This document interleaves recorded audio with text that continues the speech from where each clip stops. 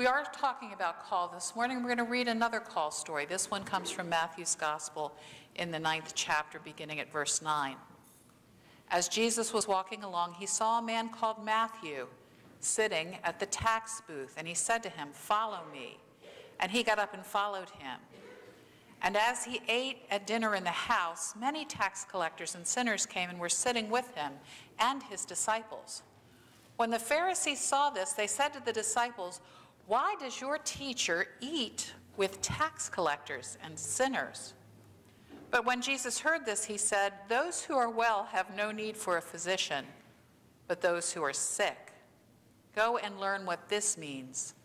I desire mercy, not sacrifice, for I have come to call not the righteous, but sinners.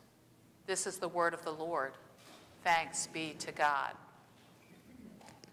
We're talking about call, and I think this is probably, other than the week we had the dancers here, the first Sunday that I did not put on my vestments. Because when I was called, I was not called from the planet of the preachers and the ordained. But I'm guessing some of you remember this song from when you were kids. Sing it with me.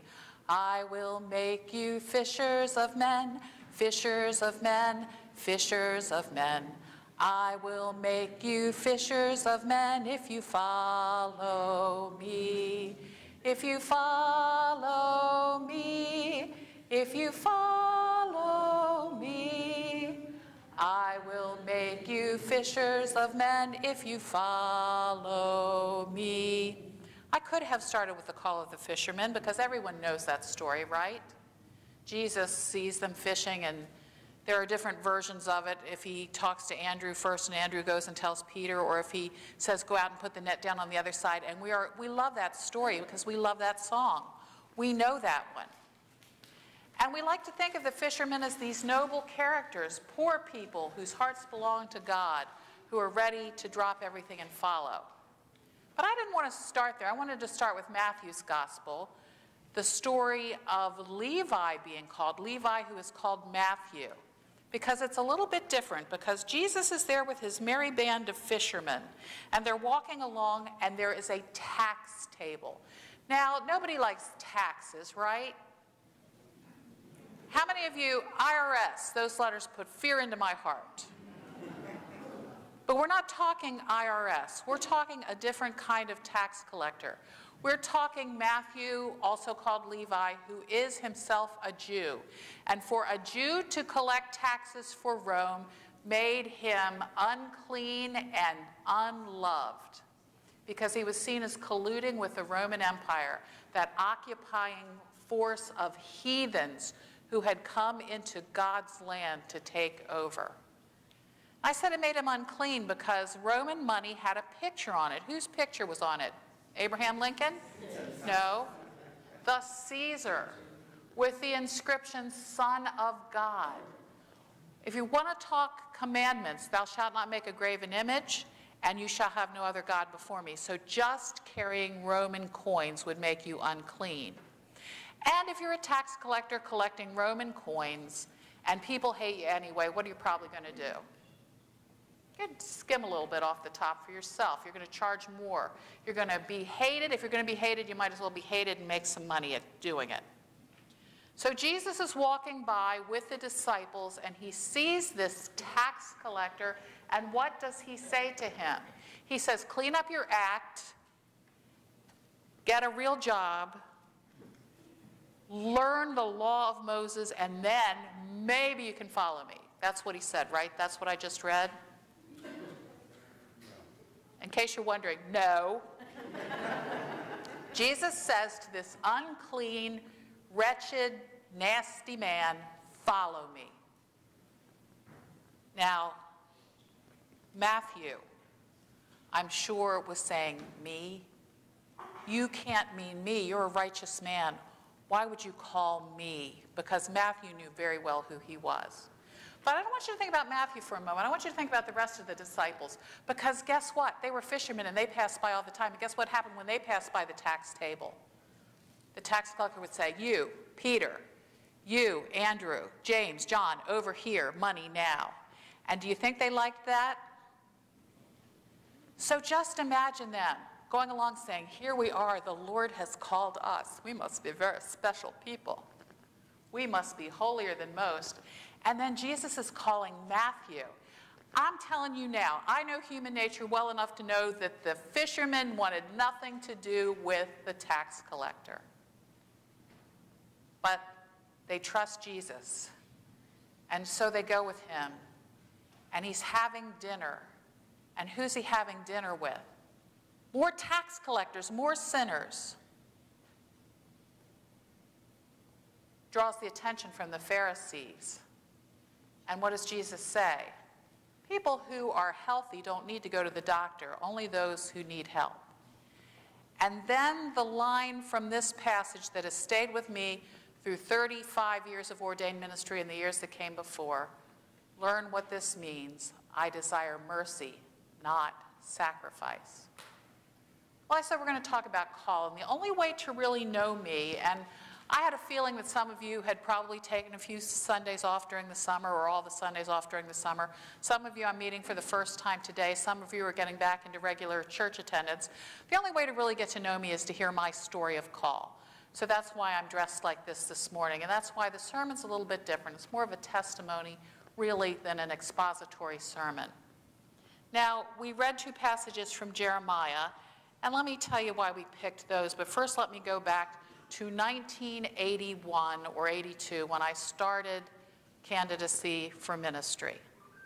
The question they ask everyone is this out of all the stories of call in Scripture, which one is more like yours?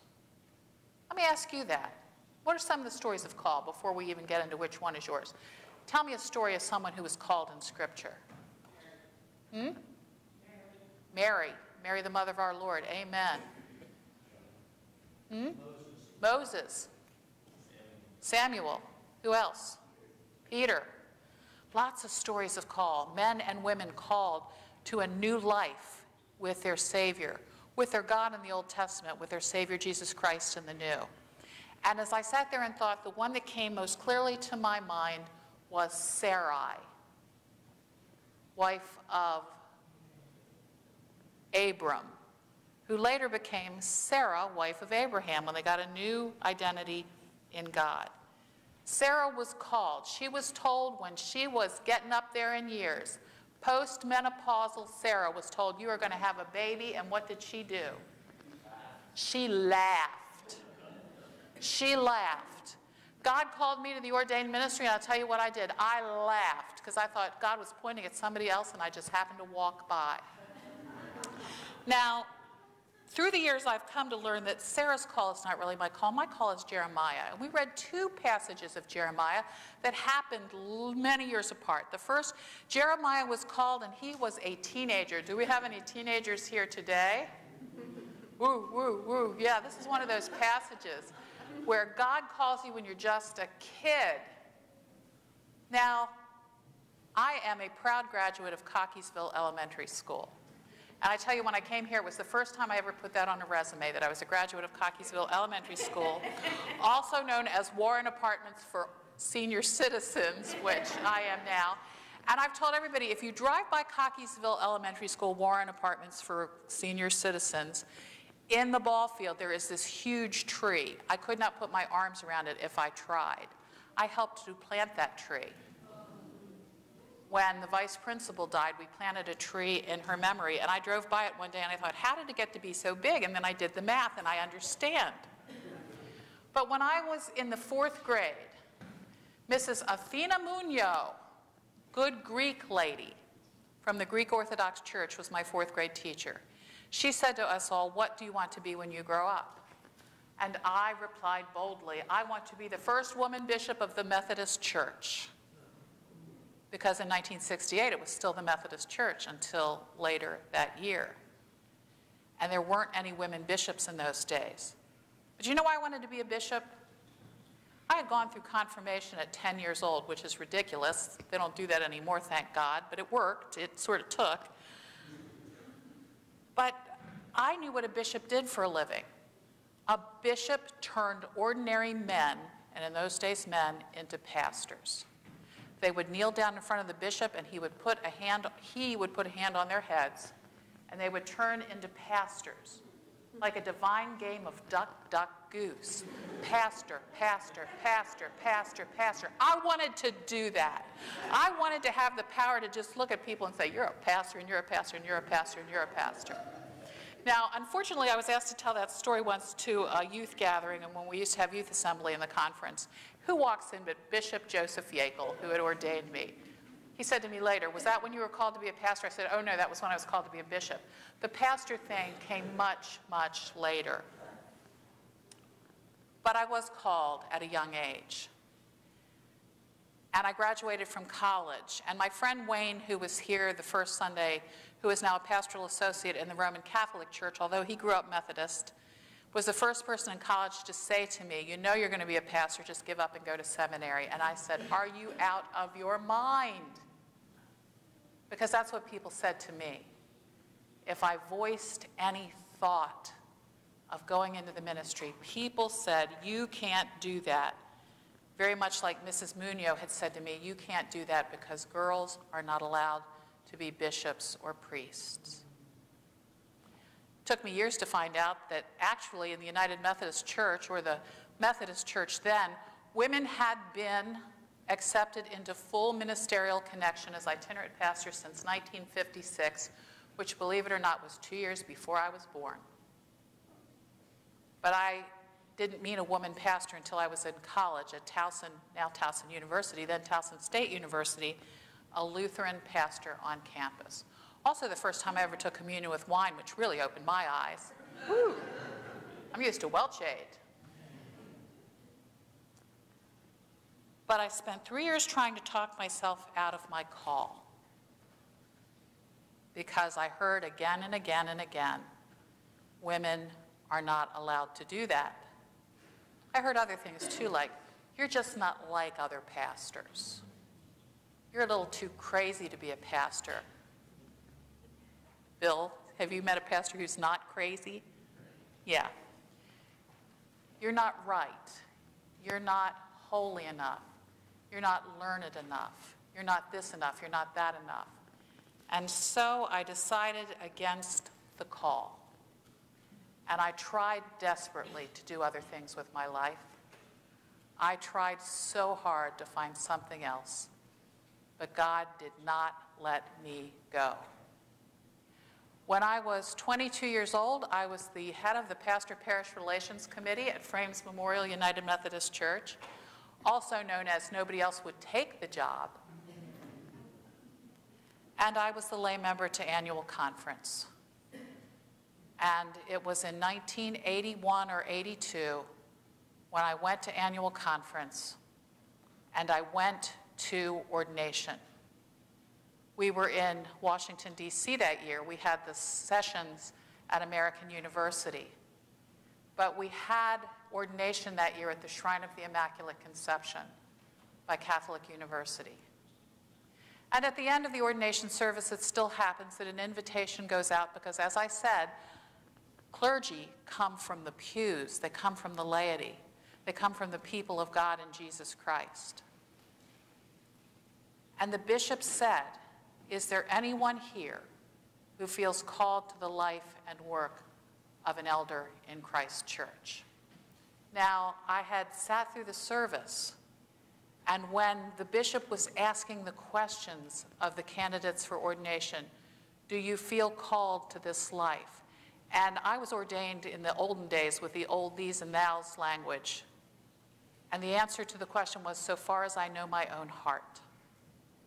And I found myself saying, yes, yes, yes, yes, yes.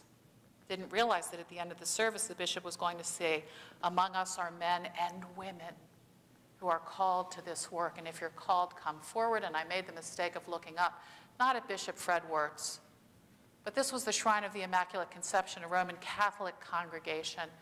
And they have a crucifix larger than a human hanging at an angle, looking at the congregation. And I made the mistake of looking up and meeting the eyes of Jesus Christ, who said, Yes, it's you. I want you. And I stood up. Now, the woman next to me grabbed my dress and said, Where do you think you're going? Get back here. Have you lost your mind? And I was crying and I was tripping over the pew and I went to the front. And he still looked at me. And it was me he was looking at, not a man next to me, not another woman, not someone better suited. He looked at me. And I said yes. Now I was crying so much I gave them the wrong name. Because the Board of Ordained Ministries right there going, What's your name? What's your name? We want to get your name while you're here. And I said Terri, and he got Terri down. And he said, Last name, Cofiell. And he was like, What? Spell that for me. And I said, C O F. And he wrote down B O F. And I said, C O F. He wrote B O F, C O F. I said, C O F I E L L. And he wrote BOF, COF, B O F, C O F, C O F I E L L. Somehow they found Terry Boffkoff Coffiel. But the next step, first I had to tell my parents, and they're here, and I don't know if they remember what they said. I told my parents, so my mother said, You don't want to do that. People are mean to pastors sometimes.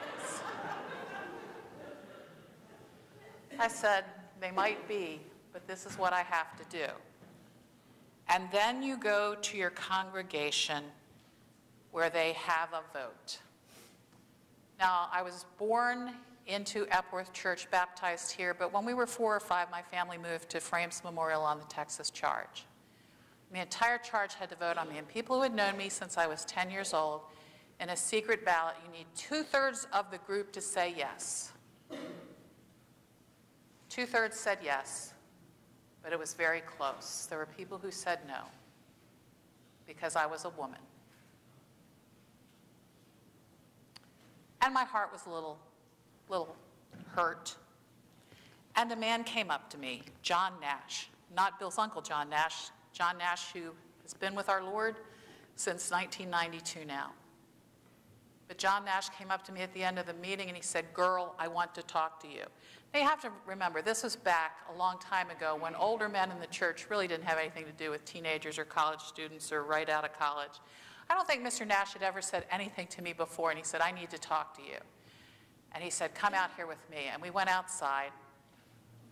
And I was expecting him to say what I'd heard so many times before God does not call women.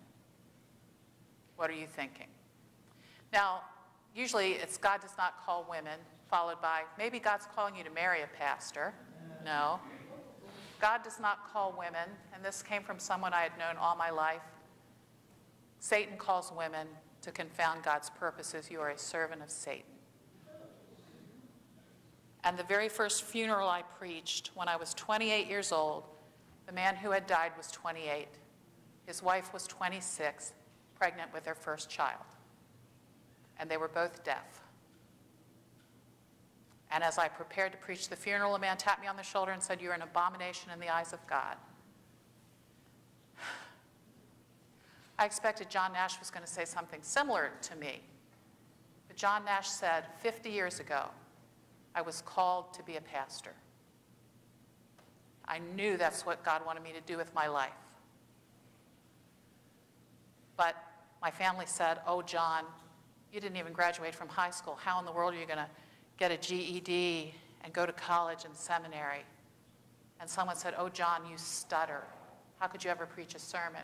And people said, John, you know that's not right. You shouldn't be doing something like that.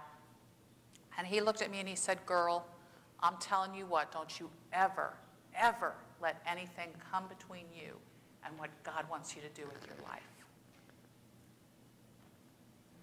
There's very few days that I don't think about John Nash. Well, called young like Jeremiah, but now I'm old like Jeremiah because Jeremiah lived a long time and prophesied a long time. And if you see paintings of Jeremiah, I almost said pictures. Now, there are no photographs of Jeremiah that we know of. But if you see paintings of Jeremiah, he's always bald in the pictures. We don't know that he had no hair, but do you know why he's painted as bald? Because he tore his hair out from frustration. The second passage we read is the one that resonates with me now. Because there are times, my mother was right, there are people who don't like pastors. Did you know that? There are people who can be mean to pastors, surprisingly enough. But Jeremiah was given a hard word to preach to people. Nobody wants to see a prophet coming, and I don't think anybody really wants to be a prophet. Jeremiah was given a word of warning to the people that their lack of faithfulness was going to end them up in exile, and in fact they did. But as soon as the exile becomes a reality, what does he do? He goes out and he buys land at ground zero because he's proclaiming then that God will restore the people when they restore their faith. Jeremiah lived a long time. And he would get so frustrated sometimes he would say, Lord, I don't want to do this anymore. And there was a time in 1999 when I took a Sabbath rest and I flew to California because it was as far away as I could get without leaving the continental United States. And I walked the beach every day and prayed that God would take my call away because I was tired. I was exhausted. I was writing curriculum for the United Methodist Publishing House at night and being a pastor during the day. And I walked the beach every day in Pismo Beach, California, and I prayed, God, let me off the hook. Raise up somebody better than me, somebody more articulate, someone more right for this job than me. Now, everywhere I went in California, here, California's this godless, crazy place. Everywhere I went, people came up to me and said, I've seen you sitting on this bench. Would you like to come to church with me? And I'm like, not really.